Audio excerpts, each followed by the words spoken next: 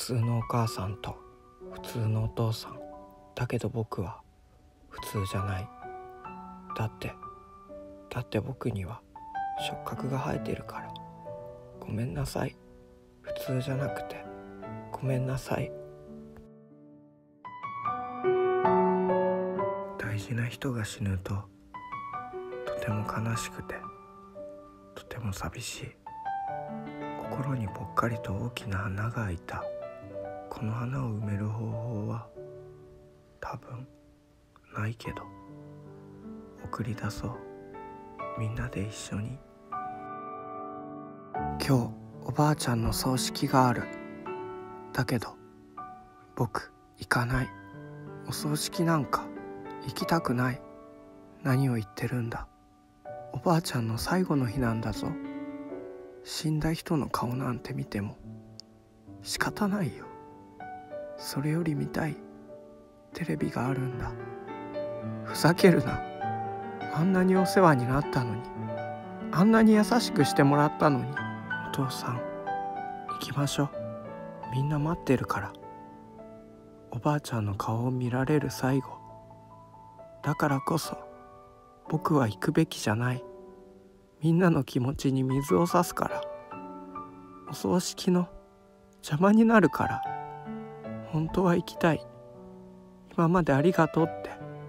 おばあちゃん大好きだよって。おばあちゃんの前でしっかり泣いて。天国に行くおばあちゃんを。みんなと送り出したい。だけどなんで？なんで僕だけ触覚があるんだろう？なんでみんな触覚を嫌がるんだろう？それでもお葬式に行くって。なんで思えないんだろう？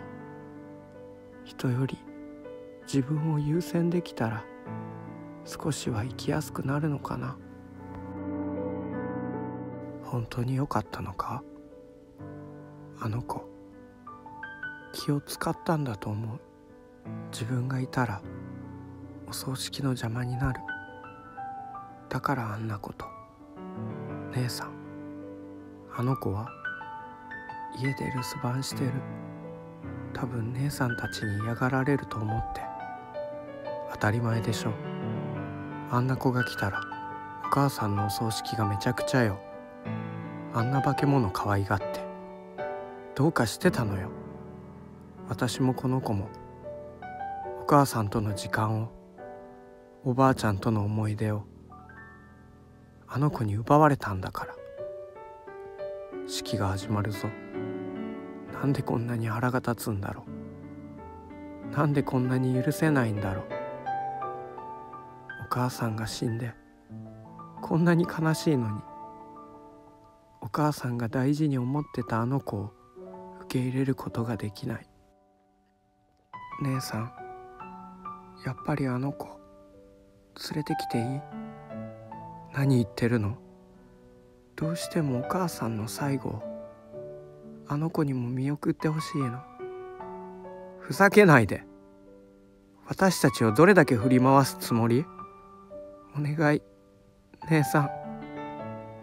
あの子にとっておばあちゃんが一番大切な人なの。あの子を受け入れることだけは。お母さん触覚のお兄ちゃんも呼ぼう。あなたまで何言ってるの？あの子におばあちゃんを奪われたのよ。あの子のせいで愛してもらえなかったのよ。おばあちゃん言ってたよ。あなたの子供と同じくらい触覚のお兄ちゃんのことが大事って。それって触覚のお兄ちゃんと同じくらい僕のことも愛してくれてたってことでしょ？みんないないとおばあちゃんも寂しいと思うから大好きなおばあちゃんとみんなでお別れしよう。優しいお母さんが私は大好きだった。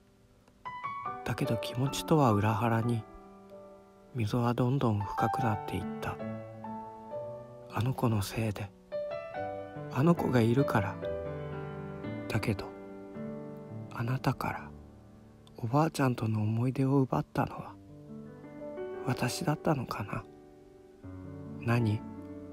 呼んでくれてありがとう。ございます。そんな顔しないでよ。お礼なんて。言わないでよ。今までごめんなさいって。思っちゃうじゃない。なんで偏った目で見ちゃったんだろうって。なんで受け入れられなかったんだろうって。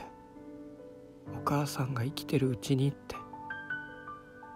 思っちゃうじゃない。くだらない偏見で大事な時間を失った。もう戻ってこない。あなたとの時間を。